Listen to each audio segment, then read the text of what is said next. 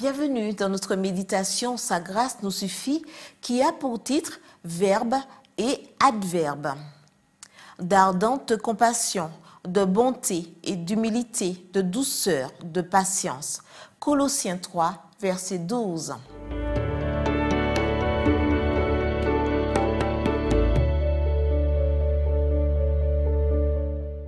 La base du christianisme repose sur les relations.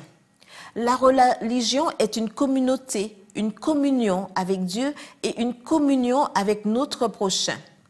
Vivre et cohabiter, communion et socialisation. Lorsque Paul a écrit cela, la souffrance des animaux et des malades n'était pas prise en compte. Les malades et les blessés étaient abandonnés à leur sort. Ils n'avaient pas d'importance.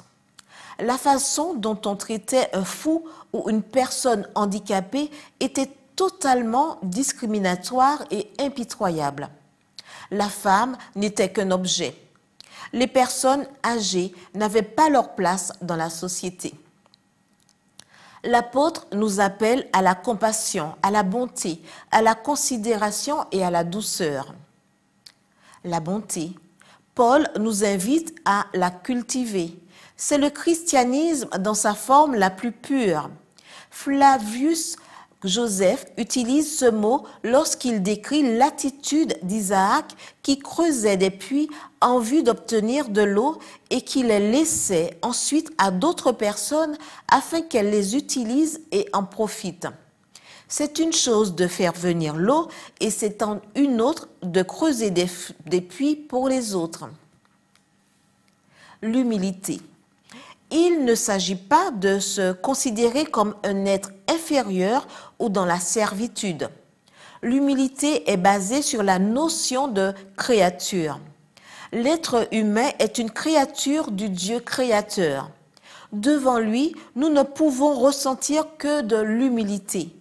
Et comme nous sommes tous des créatures et que nous dépendons du Créateur, nous devons faire preuve d'humilité devant les autres, car nous sommes tous des enfants nécessiteux et dépendants au même titre. Il n'y a pas de place pour l'arrogance. La douceur. Cette caractéristique particulière combine étrangement fermeté et douceur. La personne se contrôle parce qu'elle est contrôlée par Dieu. La douceur est l'absence d'auto-justification le contraire de l'agressivité. C'est une douce et tendre impartialité. Notre Sauveur était l'exemple parfait de la vraie douceur.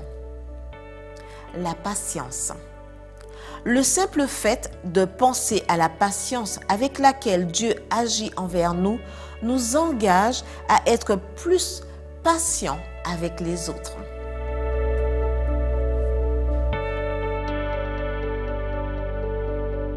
Gerson, un éminent théologien français du XIVe siècle, disait que Dieu tient compte des adverbes plutôt que des verbes dans nos vies.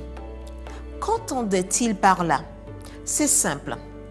Les verbes indiquent l'action et les adverbes la manière dont nous l'accomplissons. Dieu ne regarde pas seulement l'action, il regarde aussi ce qui nous pousse à l'accomplir. Amen.